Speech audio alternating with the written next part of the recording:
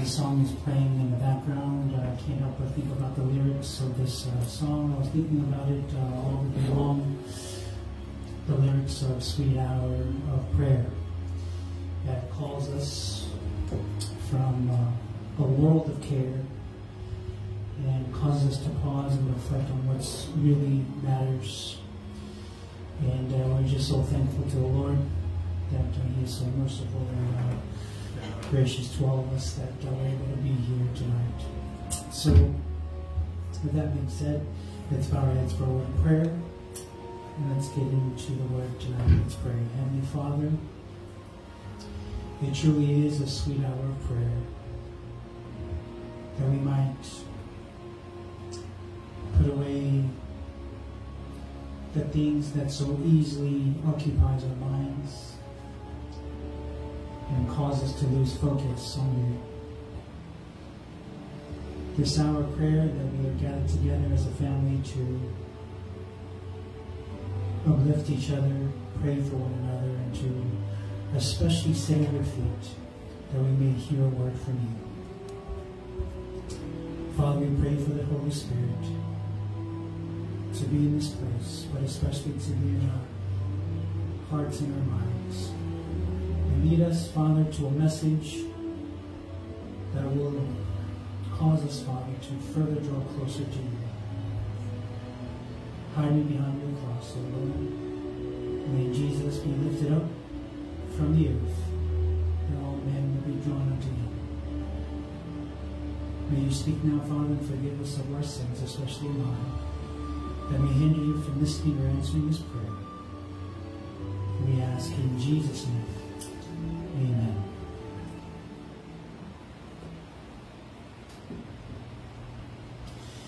I couldn't help but be in share some of the uh, prophetic insight that I've seen in the headlines. Have you been looking at the headlines? As Brother Aaron shared this one with me from the New York Times.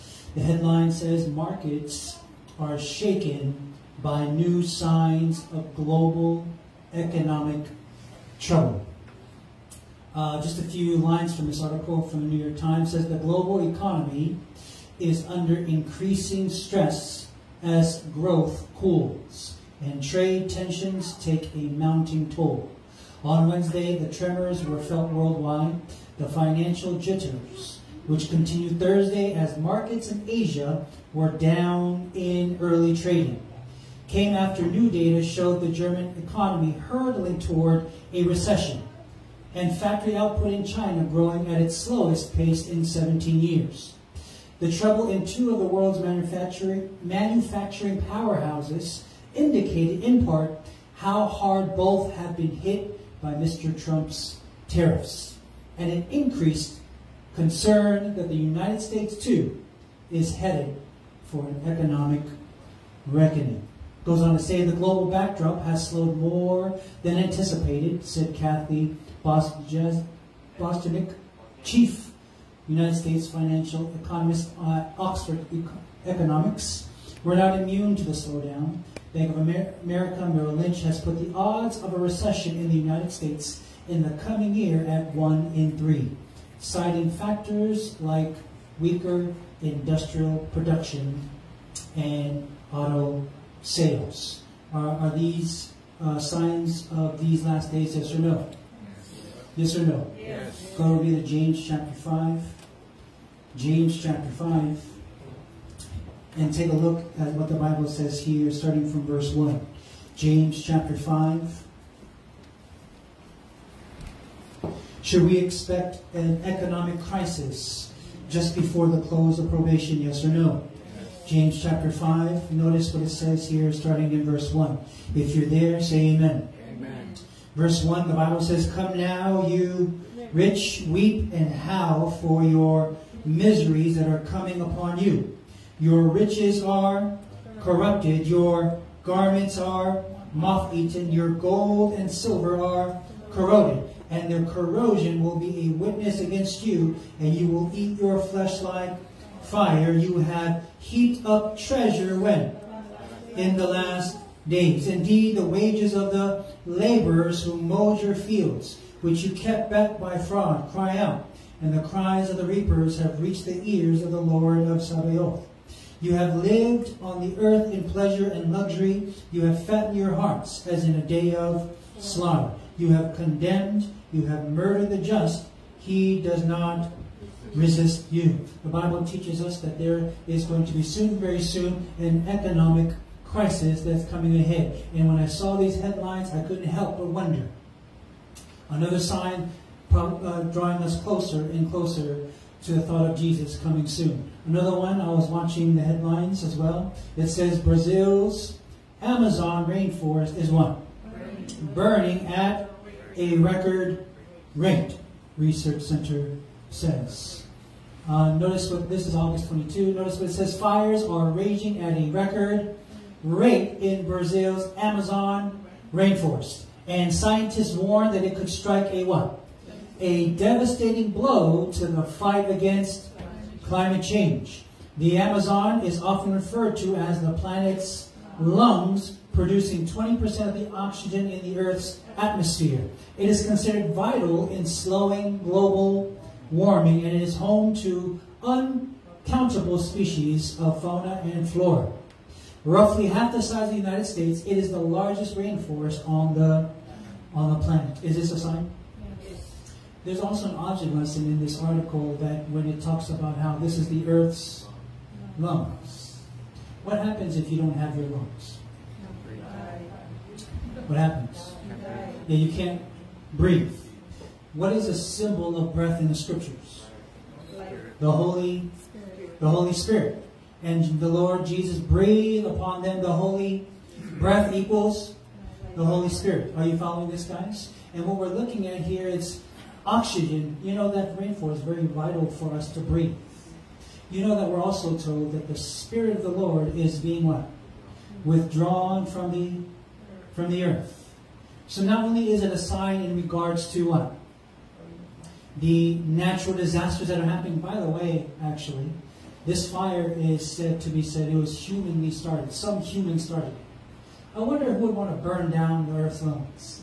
Maybe to hasten things to get it to where it needs to go. You understand what I'm saying? Who would want to go and burn down the lungs of the earth? Anyways, that's our prophetic update for tonight. Let's get into the message. Are you ready? Anybody know what this is? If you know what it is, it's the title of our message. No? This is known as the miracle fruit. Anybody have you eaten ever anybody eaten the miracle fruit? Do you know why it's called the miracle fruit? Because it, uh, have you ever tasted some food that was nasty? Mm-hmm. Yes or no? Yes. Apparently, when you eat this before you eat something that doesn't taste good, when after you eat this, it'll make your tongue believe that the food that you're eating that's nasty tastes good. Yeah. If you look it up, go home tonight, go home and look it up, what miracle fruit is. It basically that when you eat it, it, it, it, and then you, the food that you don't think, like for example, let's say salad with no dressing. Is that nasty? Well, apparently if you eat this, yeah, uh, one of the main things it says that's powerful is uh, lemon, that's sour. It says if you eat this, when you eat the lemon afterward, it'll taste like you're you're eating a lemon, like you're drinking lemonade. You're like, mmm, after you eat the miracle fruit. Now there's an object lesson in that. But nonetheless, the title of our message is what everyone? Miracle fruit. Miracle fruit. Let's go to Genesis chapter 4. Genesis chapter 4, miracle fruit. You want some miracle fruit? Yes or no? So that way, if if somebody in your family that likes to cook, but you never want to tell them that it doesn't taste good, get some miracle fruit. That way you don't have to lie. Say, hmm, tastes so wonderful. All right, Genesis chapter 4. We're going to read verses 1 to verse 7. If you're there, say amen. amen. Genesis chapter 4, starting in verse 1. Notice what the Bible says. Familiar story to all of us.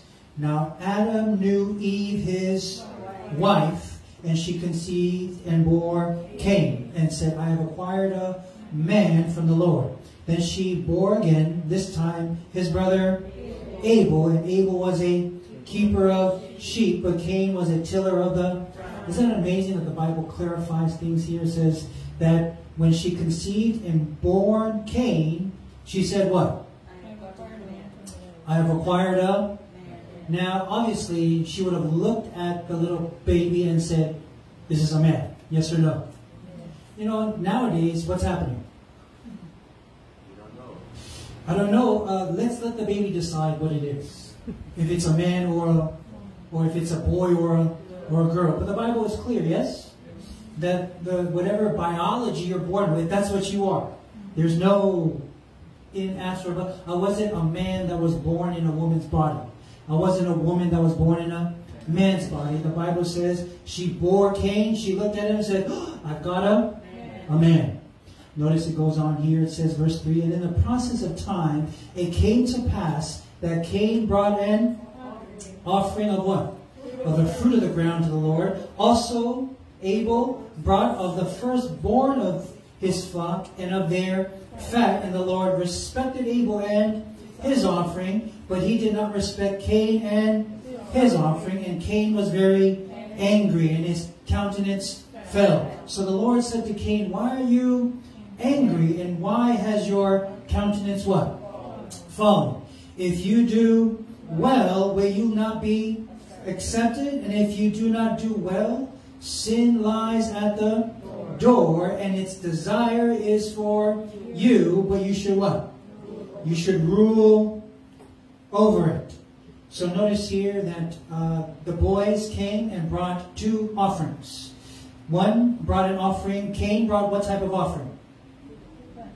offering of the fruit of the ground. That's in verse 3. And what did Abel bring? The firstborn of his flock he brought as an offering. Abel's was accepted. Cain was not accepted.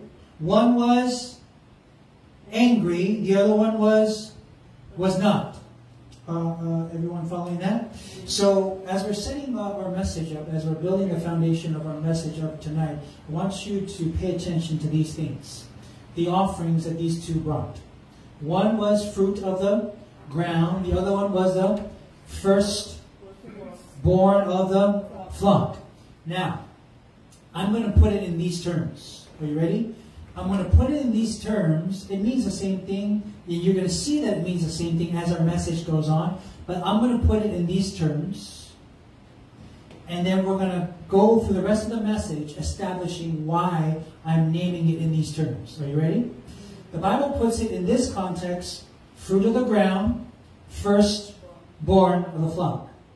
Both are offerings. One was accepted, one was one was not. One was angry, one was was not. Are you following? I'm going to put in these terms. One gave an offering of fruit. The, the other one also gave an offering of fruit. Are you following? The lamb that he gave, or the first one that, that he gave, I'm going to call it a, I'm going to call it fruit. Is that okay? I mean, it should be okay for now until I prove to you why I'm calling it a fruit. Are you following that?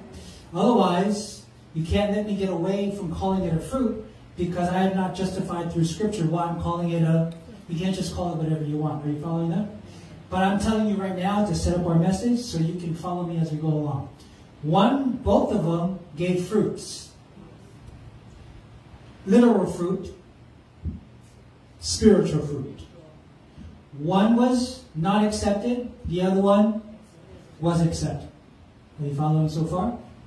All right. So uh, as we're following those terms, I'm going to go ahead now and go through the rest of the message establishing why I'm calling this one a, a fruit. In the context of the title of our message, the miracle fruit. Amen? Amen. The miracle what? Fruit. The miracle fruit. One fruit was accepted, the other fruit was was not. Mark chapter 11. Let's go to Mark chapter 11.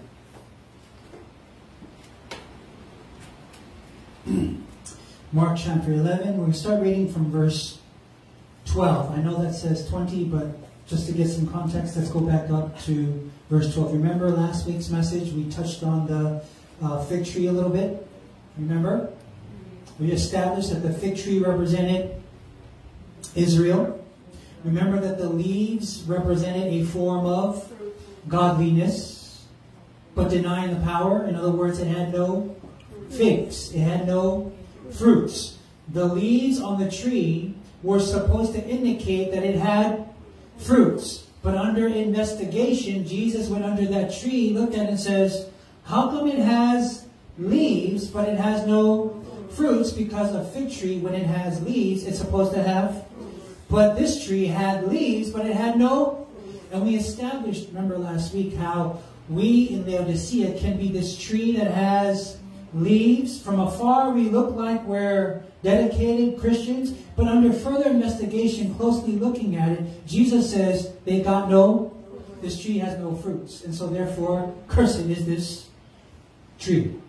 Right in Mark 11?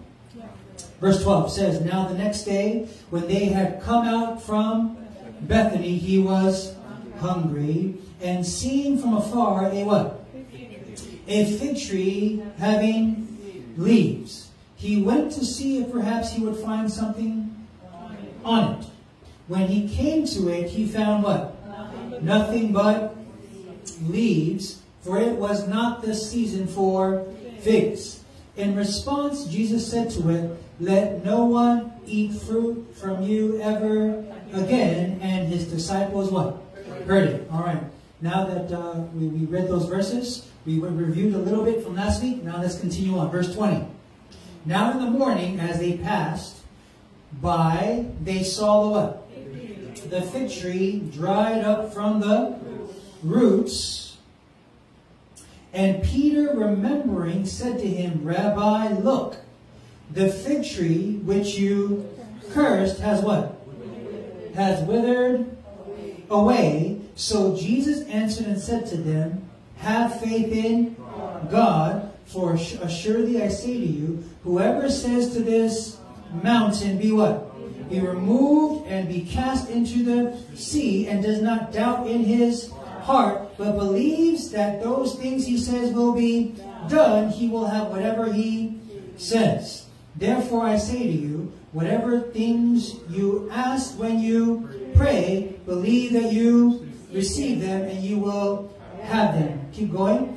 And whenever you stand praying, if you have anything against anyone, forgive him, that your Father in heaven may also forgive you your trespasses. But if you do not forgive, neither will your Father in heaven forgive your trespasses. Now, notice this is these verses are all related to this tree. Are you following so far? This tree is a tree that has leaves, but it has no fruits. In other words, it seems good, but it's not fruitful. I'm sure to Cain, it seemed that it was good. These fruits seemed that it was good, but God did not accept it. This tree that had leaves on it seemed like it was good, but under further investigation, it had no it had no fruits. So, this fig tree we talked about last week represented Israel, the Jewish nation of that time. We also talked about last week that this fig tree can represent who? It can represent who? It can represent us. A tree that has leaves, but no, but no fruits. What happens when Jesus is done with his investigation and he ends up finding out that we have no fruits. What happens? The tree becomes cursed, cut off. It can no longer produce fruit. It withers away. Are we living in a time of the investigative judgment?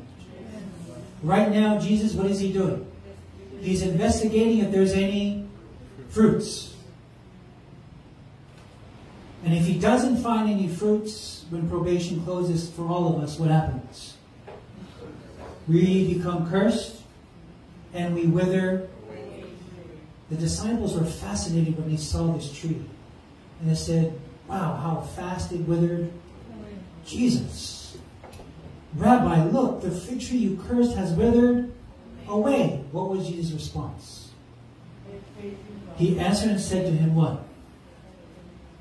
Now, can, you imagine a fig tree up here? Just use your imagination. As you're looking at it, what do you see?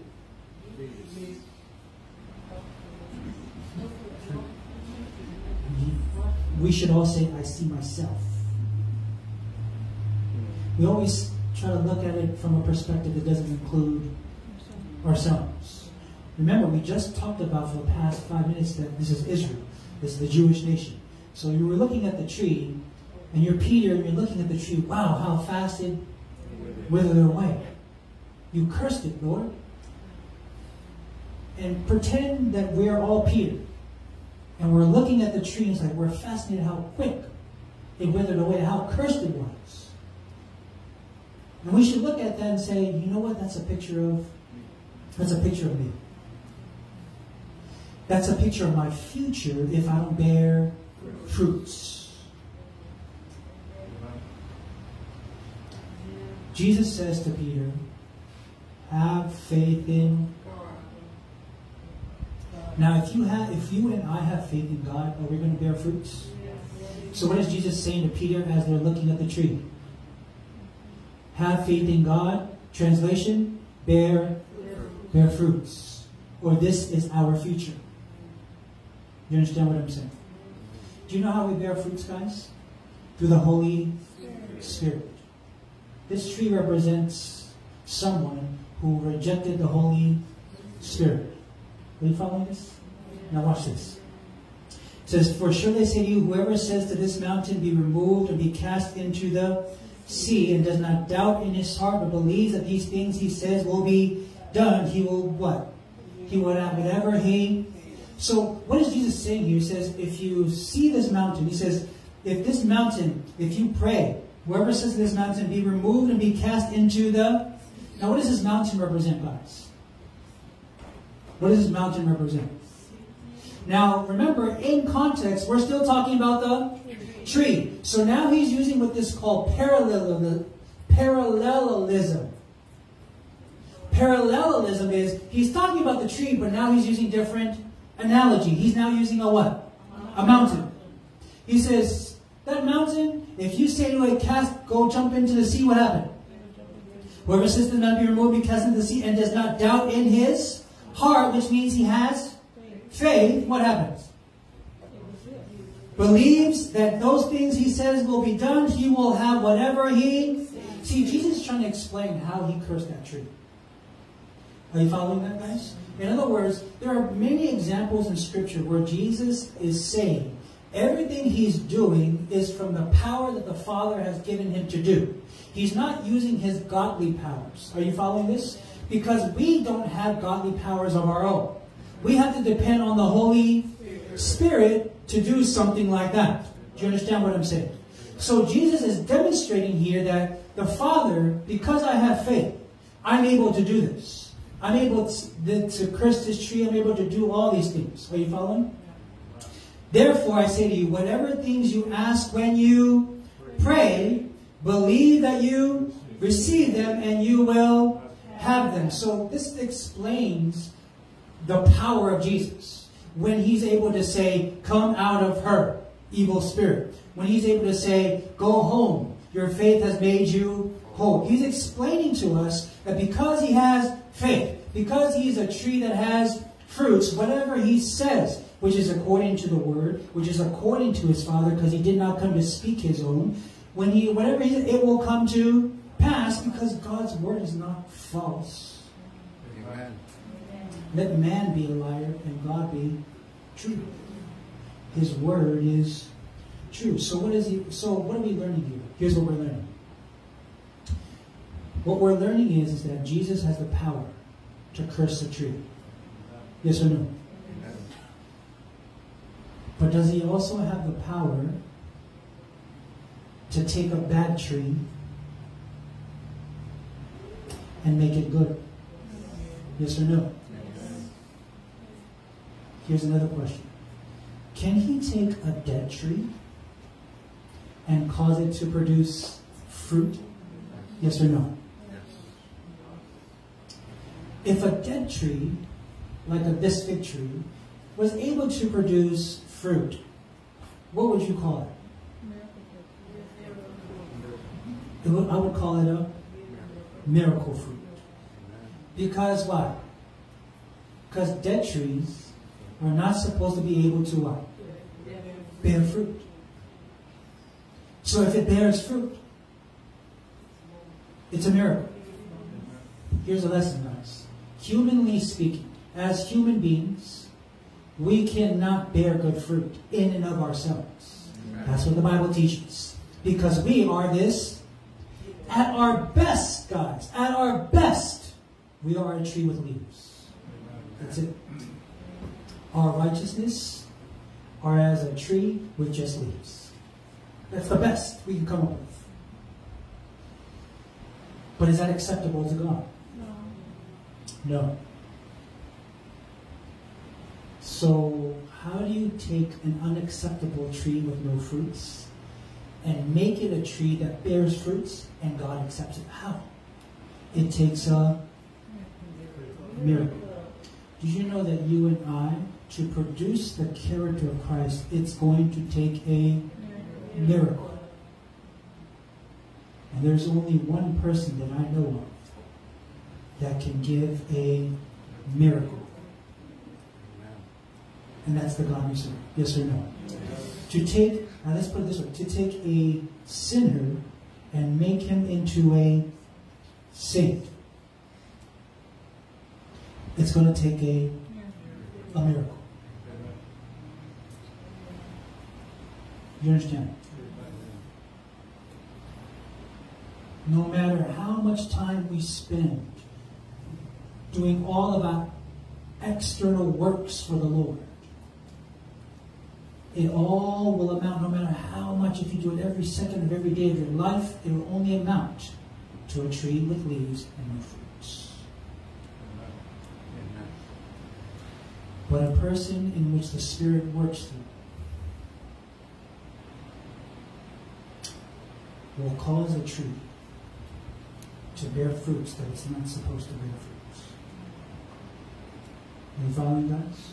Amen. Notice here in Songs of Solomon, Songs of Solomon, not many people preach on this book because it's kind of uncomfortable. It has relational language between uh, what the book is called the beloved and the Shulamite woman, which is a picture of Christ and his bride, his church. Notice in Songs of Solomon it says, I am the rose of and the lily of the. Who's that? You know the song. Lily of the. The rose of Sharon is Jesus himself. And who's the Shulamite? That's the woman. That's the that's the church. That's the bride of Christ. And he speaks about it the fig tree puts forth her and the vines with the tender give a good smell. Rise up, my love, my fair one, and come away. He is speaking about her, referring to her as if referring to her as a fig tree who puts forth her green figs. Are you following us? Hosea 9:10, I found Israel like grapes in the wilderness. I saw your fathers as the on the fig tree in its first season, but they went to Baal Peor and separated themselves to that shame. They became an abomination like that thing. They further evidence that a fig tree can be representative of God's people, God's bride, His church. But notice Matthew 7, 17 and 20. This is familiar to us. It says, Even so, every good tree, what does it do? But a bad tree bears what? A good tree cannot bear bad, nor can a bad tree bear. Every tree that does not bear good fruit is cut down and thrown into the fire. Therefore, by their fruits, what? You will know them. Now, let me ask you a question. At the end of the day, when the time of the investigative judgment is over, will everyone bear fruits? When probation is closed, has everyone bore fruits? In, in, the, in the context of this passage, everyone will bear fruits. It's just some will be good fruits, some will be, but both are are fruits. Remember how we started with the story, and I labeled uh, Abel's as fruits. Fruit, both are fruits. Are you understanding why I'm calling them both fruits? I'm using the scripture. Are you following? So everyone will bear fruits. But some will bear good fruits, some will bear bad fruits. Now, an analogy of the fig tree, the bad fruits, is represented as no fruits. Are you following? No fruits, bad fruits, same thing. Are we together? All right. So notice here uh, that a good tree bears good fruit and a bad tree bears. So who's the good tree? Remember what Jesus says in Matthew 19? He says what? There is no one that is good but but God. So who's the good tree? God. Are you following that? God is the good tree. Who's the bad tree? Humanity is the bad tree. Our nature will produce bad fruit. Everyone following so far? So the key is how do you make a become a are you following? Isn't that a beautiful thing about the gospel? That a bad tree can become a good tree. How do you take a fig tree that has a bunch of leaves and no fruit? How it's already grown. Are you following? How do you make that thing grow fruits? How do you do you take a needle and shoot the roots and hoping for something good? The only way that that thing can grow fruit is what? A miracle. Are you following? Notice this says in Matthew 12, 33 to 35. Either make the tree good. and its fruit good. or else what? And its for a tree is known by its so how is a how based on that line, how do you take a bad tree and make it a good tree? Either make the tree good and its fruit, or else what? And it's so both are made. Are you following? Yes, we are born with this tendency. Our nature is of a bad tree. Are you following?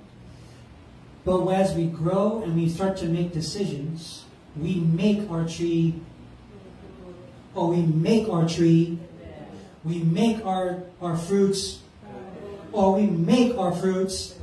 Are you following us? So how do we make a bad tree good tree? Well, number one, it's going to take a miracle. And number two, the power of the Holy is that God is the only one that can provide that that miracle. Yes or no? Yes. It's kind of like taking a barren woman who cannot have give birth and having her have a. Did that happen? Yes. Did it happen several times? Yes. How did that happen? A miracle. Through who? Through the God, yes, through the Holy. You following? If God can put a seed into a tree that cannot bear fruit, in other words, if God can take a seed and put it into a woman that cannot bear a child, can he not put something into a tree that can cause it to bear fruit? Can he not put something in a person to cause him to be one ugly person inside to be one righteous person in Jesus? Yes or no? It will take a know that song? It takes a miracle. You heard that song? Notice he goes on to say, brood of vipers, how can you being speak what? Isn't that a question that we were asking? For out of the abundance of the heart, the mouth, a good man out of the of his heart brings forth good, and an evil man out of brings forth evil. So where does the bad fruit bad fruit come from, and where does the good fruit come from? The good fruit comes from the good treasure. The bad fruit comes from the evil treasure. Wait, this was the good side, right? I want to be consistent. This is the bad side. Right. Bad fruit, evil fruit, good fruit, good treasure, evil treasure. All right. So, what is the good treasure? And what is the evil treasure that ends up in men's hearts that causes them to be what one tree versus another tree, having fruit or no fruit, or having good fruit and having bad fruit. What's the good treasure? What's the evil treasure? Matthew 6.21 says, For where your treasure is, there your now you have to ask yourself, as I ask myself, what kind of treasure do you have in your heart? Is it a good treasure? Or is it evil treasure? Now, what are we most likely susceptible to? Evil treasure. But the good news of, the, of what we're learning is that the evil treasure can be replaced by the good treasure, which then comes forth out and produces. Yeah? Because either make the tree good or make the tree evil. Are you following? So, how? Through the treasure. Well, how did the treasure get there? Well, where your treasure is, is where your. So, what, whatever treasure you have inside of you, whatever treasure I have inside of me, this treasure determines the output. Right?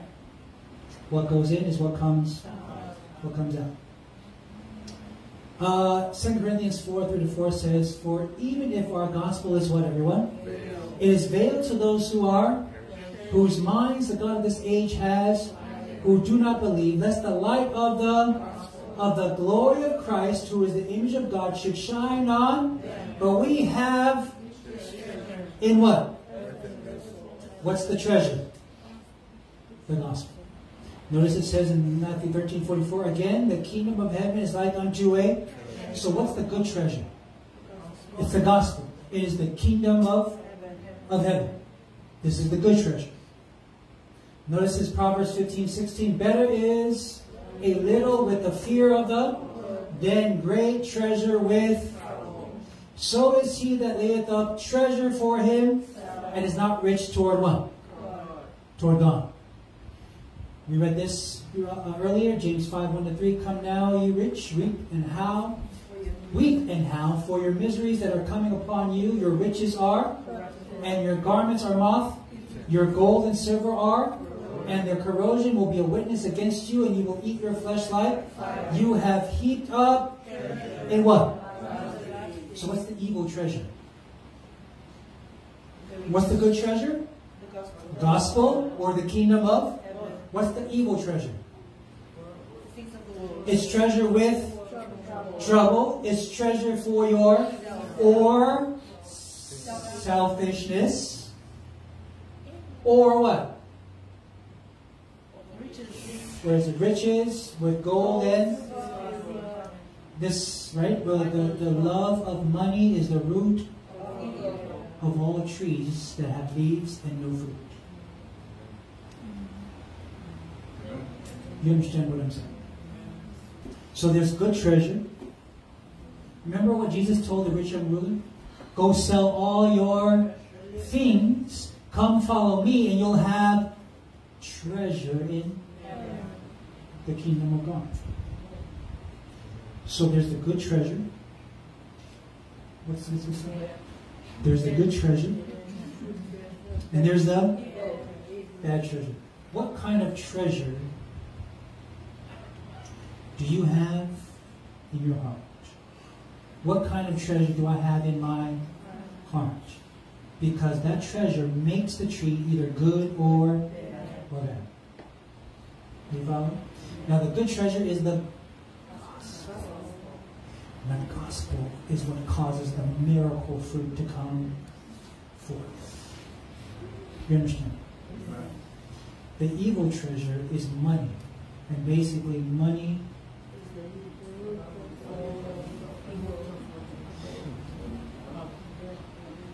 Here is dependent on God. Here, the rich man depends on his own money, depends on his own strength. He gets everything he wants through money. This guy gets everything he wants through faith. What did Jesus say? Whatever you ask, if you believe, you shall you shall receive it. This guy saying, whatever you want, my black card, charge it. Anything you want, you can have it. You understand what I'm saying? But one is unto eternal salvation. The other one will soon become cankered and they'll throw it away. It'll become worthless. This is as, as good as a tree is with leaves and no fruit. Uh, are we following, guys? So, what's the point of all this? Where is Jesus in all of this? The tree, let's go back to the tree with just leaves. Is it a living tree or is it a dead tree?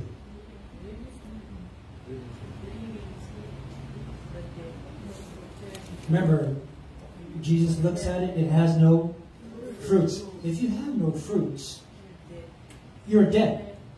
Do you understand? It may appear that it's living, but it's actually, it's dead. Are you following? So, Jesus basically, when he cursed it, he did something that showed an outer manifestation of what was already inside the tree. It's no good. What good is a tree if it bears no, especially if it's a fig tree. If you're an apple tree, what good are you if you don't produce apples? You understand what I'm saying? So, it's a dead tree. Yes or no? Jesus is in the business, and I'm wrapping it up now. Jesus is in the business of taking dead trees and causing a miracle. I would say Jesus is in the business of taking dead trees, replanting them, and causing them to bear fruit. Are you a tree tonight? I know I am. Are you a tree tonight that recognizes you are this dead tree and you need Jesus to replant you to bring fruits out of you? You need Him to come into you to produce that miracle fruit. Do you are you recognize that? Yes or no? Once upon a time, Jesus carried a dead tree. Do you understand what I'm saying? Once upon a time, he carried a dead tree. That dead tree he was carrying had no fruits.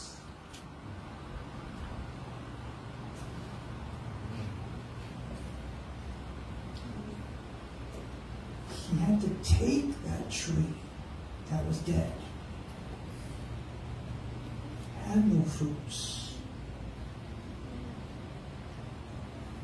and he took it on top of a hill and he plants it, so to speak. Then he hangs on with it. That tree that he's carrying is not supposed to be able to bear fruits. But he became the fruit to a dead tree. Do you know uh, the Bible tells us here, listen to me, O house of Jacob, and all the remnant of the house of Israel. Who have been upheld by me from birth. who have been carried from the womb. Even to your old age, I am He. And even to the gray hairs, what does it say? I will carry you. I have made and I will bear. Did he bear it? Even I will carry and what? And will deliver you. He put that thing on top of a hill. You know what Jesus said about us? He said that you are the light of the a city that is set on a hill cannot be what? A tree, a dead tree. You and me. We have no business bearing fruit, but he carried us to the top of the hill, plants us, becomes one with us. And you know when Jesus on the cross, it's a form of judgment. You know that, right? God looked down and investigated that tree, representing you and does it have fruit? Does it have fruit? It's Christ Himself who hangs from that tree. And He says, That's the tree that I'm looking for. He set us so we can shine. What's shining from us? What's so beautiful about this tree that's on the hill? It's the fruit of Jesus Christ who hangs. Amen. Says here, a city that's set on the hill cannot be hidden. Also, he said to them, Is a lamp brought to be put under a basket or under a bed? Is it not to be set on a? For there is nothing hidden which will not be, nor has anything been kept secret, but that it should come to. You know, those are words regarding judgment. You understand that? The cross not only represented love, not only represented grace and the mercy of God, but it also represented the judgment of God. Remember how the Bible says, Who shall be able to stand? Only those who have that fruit. We have no business being a tree on top of a hill. But he took us and he carried us and he put us on top of a hill. You are the light of the city that's set upon a hill. You shall bear fruit, the miracle fruit. And if you eat of this miracle fruit, everything in this word will taste better.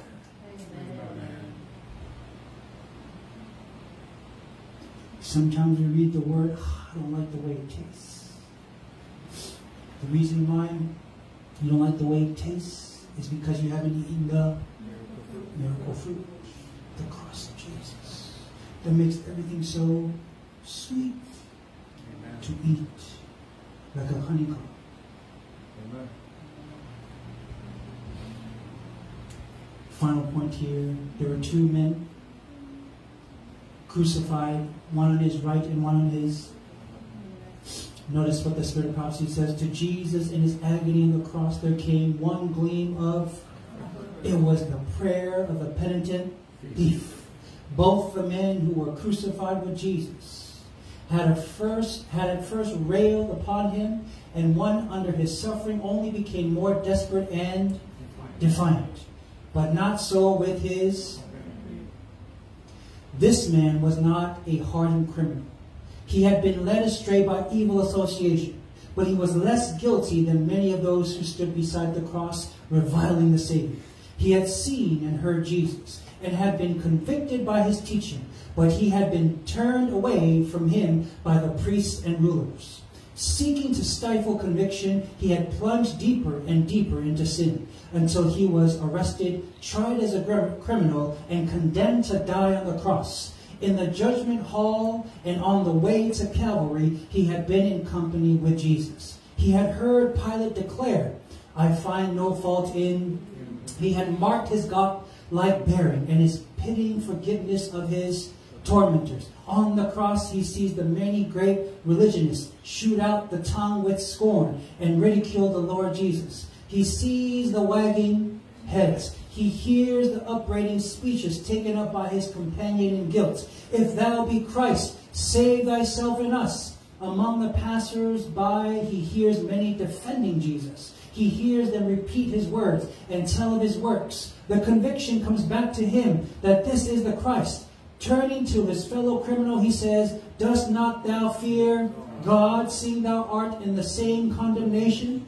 The dying thieves had no longer anything to fear from men, but upon one of them presses the conviction that there is a God to a future to cause him to. What is that fear, guys?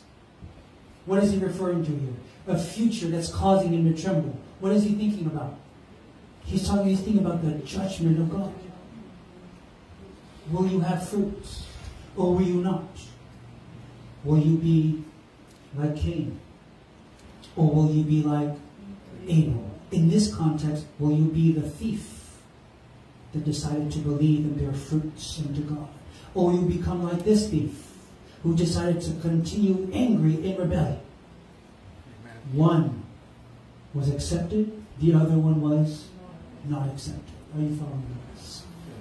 Wrapping it up here, and now all sin polluted as it is, his life history is about to, and we indeed justly he moans, for we receive a due reward of our deeds. But this man hath done nothing amiss. With amazement the angels beheld the infinite love of Jesus, who suffering the most intense agony of mind and body, thought only of others and encouraged the penitent soul to believe. In his humiliation, he, as a prophet, had addressed the daughters of Jerusalem as a and he had pleaded with the Father to forgive his. What does that sound like to you? He was a priest and an advocate. He had pleaded with the Father to forgive his. What does that sound like to you? A priest and an advocate pleading with the Father, forgive my murderers. Doesn't that sound to you like the investigative judgment? What's going on right now? There's a judgment going on judgment is upon Christ. There are two who profess Jesus. One tree, another tree. But one had fruit of Jesus. And when Jesus said to him, I say unto thee today, you shall be with me in paradise. The other one, lost. Lost. In his humiliation, he was a prophet had addressed the daughters of Jerusalem. As priest and advocate, he had pleaded with the Father to forgive his. As a loving Savior, he had forgiven the sins of the penitent thief. One thief was accepted, the other was, both were thieves. Both brought offerings. One was accepted, one was not. We are all trees. The question is, for me and for you, is.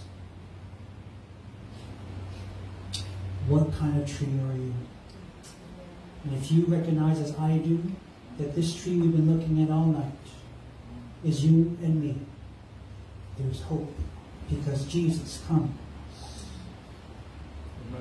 And he wants to carry you. He wants to replant you and become that fruit that hangs from that tree.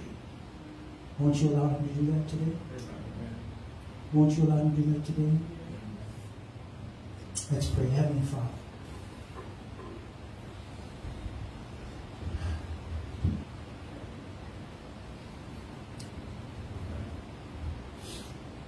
There's not enough words.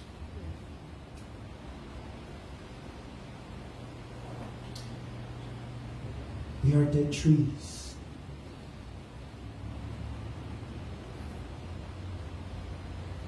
No business bearing fruit. But God so loved the world that he gave his only begotten Son. That whosoever believeth in him should not perish, should not wither away, should not be cursed but have everlasting life, but have the fruit of the Lord Jesus Christ. May we live our lives in gratitude to this wonderful truth tonight. Thank you for the miracle fruit.